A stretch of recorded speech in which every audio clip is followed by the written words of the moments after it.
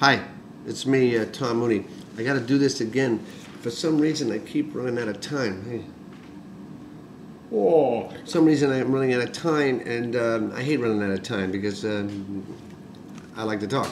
Uh, this is my summer rant. I wasn't going to go to Cannes, but now I am going to go to Cannes because one of my clients wants to talk about money. I'd go to Baghdad to talk about money. Um, uh, it's about my new digital company, which is doing really well. I'm busy as hell with that. Moon Media is doing okay, but the conventional commercial world is just you sit around waiting for the big board, then you bid and you don't get it, and you want to shoot yourself. With the digital, it just comes in fast. I turn around and go. You work harder, but uh, it's more fun again, and uh, you make a little money here. And what is with my neck? I am getting getting old sucks. I tell you, you know, maybe I gotta sit and talk like this. Do I look younger when I do this? Uh, that's better. Yeah, that's better. I, look like Nancy Reagan.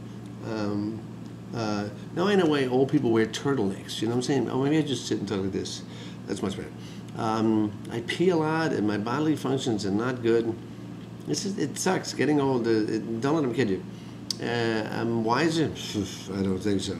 Uh, it's boring. Um, but my business isn't boring.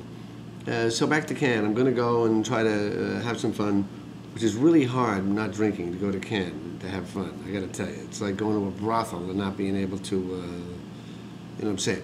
Anyway, um, life is good. I'm happy. Uh, I don't want to talk about the golf. That sucks. Don't want to talk about politics. A bunch of morons.